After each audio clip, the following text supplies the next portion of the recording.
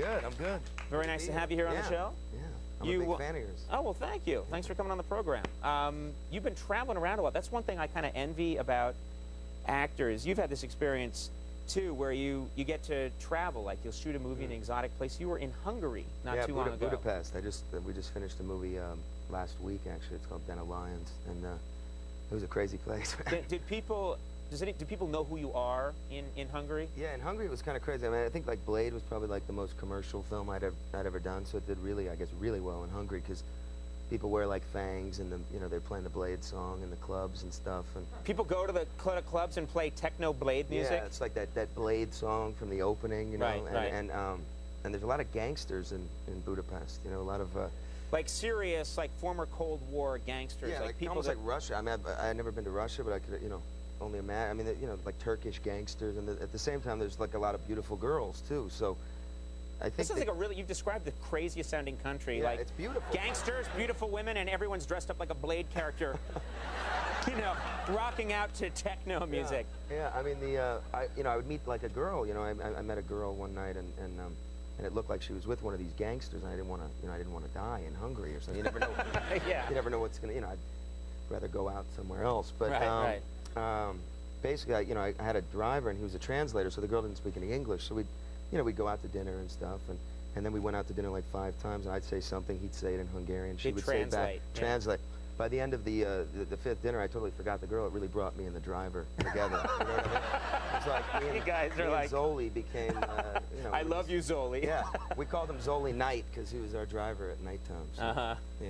Now you, I was looking through your your all the work that you've done. You've done a lot of uh, different movies, and then one thing caught my eye. You worked. You were on Different Strokes. Yeah, once. that's where. Yeah, I, in the beginning, uh, before I went into the movies, I kind of did these guest uh, spots on all these different shows that I grew up watching. So it was. Right. You must have been a real. You must have been a kid at the time. Yeah, yeah. I was like, you know, I would always watch Different Strokes and Silver Spoons and all those shows, and so I, I got this part, this gig on Different Strokes, and I was on the set, the Drummond family. It was kind of surreal, you know. Doc, you know, the, the dad Especially was if you're there. a kid and you see these people like, oh, there's the Drummond house and yeah, there's and Mr. I'm on the set, and the audience is out there, and you know, the father's there, Todd Bridges is there, but Gary Coleman wasn't there, and I was really excited to work with Gary.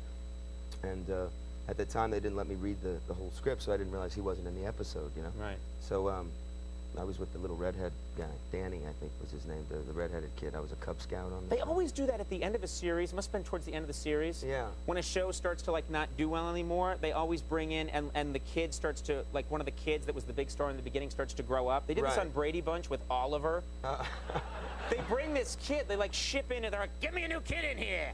And so there's always these kids just Growing show up up. with the yeah. show, yeah. So they just like shove a little redheaded munchkin out there. And where's Yeah. Arnold? I don't know. You know. yeah. I, you know, so I was kind of upset about the Gary thing, but then I met him on a movie I did later, a few years later, SFW. He did a little, uh, a little cameo. You've only worked with Gary Coleman since. I, that's one of my highlights. I was he rocking out in the techno club in was, Hungary? yeah. I'd like to see Gary in Hungary. It Would be funny. Now, oh, I'm sure he gets around, Yeah. traveling the world. Um, I saw you in, in I Shot Andy Warhol. You did something that that surprised a lot of people. You played a drag queen in this Yeah. in this movie, and a lot of people were. And you did a great job Oh, doing it. This must have been. Uh, we have actually a still uh, from the from the movie. This Oh, is yeah. you. How you doing? This is you from the movie and about four hours ago. No, I'm just kidding. Yeah. Um,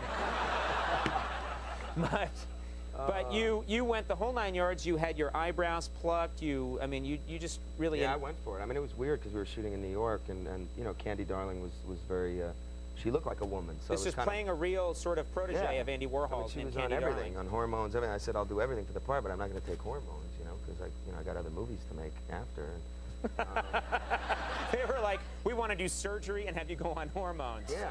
And to so, shoot this independent movie. But Yeah. everybody kind of looked. When I wasn't in the makeup, everybody kind of looked at me very strange because I had no, you know, had very little eyebrows and stuff. So I had like meetings at the time, and I was just was looking. I wanted to have a sign on myself that just said, "I'm here making a movie. I'm playing a drag queen. Right. Stop looking at me." Stop staring Yeah, at me. I didn't get weird or something. You know, Hollywood hasn't, you know, Right. made me crazy. Did it hurt? Like, I mean, I'm sure while you're doing that role, you have to interview for the next movie. Yeah. And you're trying to interview with people, and you've got plucked eyebrows. Yeah, I had a meeting with Woody Allen, and it was it was very strange. I said to my agent, "Please tell him that you know I've never met Woody Allen. I'm a fan of his. Please tell him that uh, I look strange, you know, and I'm not, you know." and and uh, and so I went there, and I think you know he didn't say much anyway. He just yeah, yeah, and and I think he thought I looked very strange, and I don't know if that call went through beforehand, but Right. he was a nice guy. Was he adjusting his glasses a lot and Yeah, saying, screening "You're making me was really nauseous cool. and yeah, getting all yeah. Woody said- Allen?" He asked me what I was working on. I said, I'm, I'm playing a drag queen right now. And, oh, great. Then he backed out of the room and someone else came in and It's said, real- "This meeting's over." Yeah, real quick meeting. So, Um, Deuces Wild.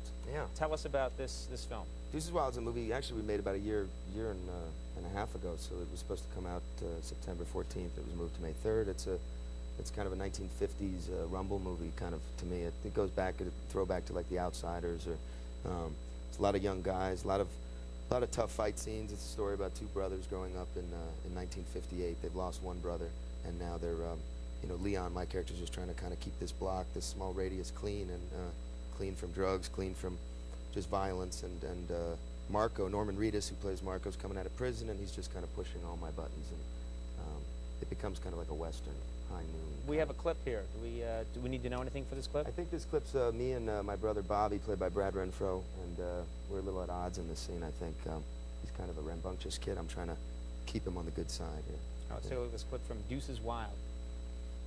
She's Jimmy Pocket's sister. End of story. It's not the end of the story. Family killed your brother.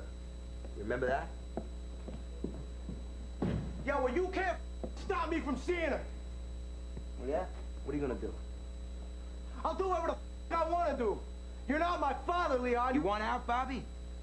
What are you talking about? You want out of the gang? Because that's what you're asking for. Leon, I am always behind you. You want me to cut Jimmy Pockets into a million pieces? I'll do it. You want me to kill Marco? I'll do it. But Annie's my girl now. And you're just gonna have to accept that. Uh, that's swearing. You're in, Yeah, that's kind of a rough clip there. yeah. Like when every other word. Yeah. Uh, Deuces Wild opens uh, next Friday. Stephen, thanks for being here. Thank really you. good to have you on the show. Nice you. job. Stephen Dorff, everyone. We'll be right back with Super Furry Animals. Stick around.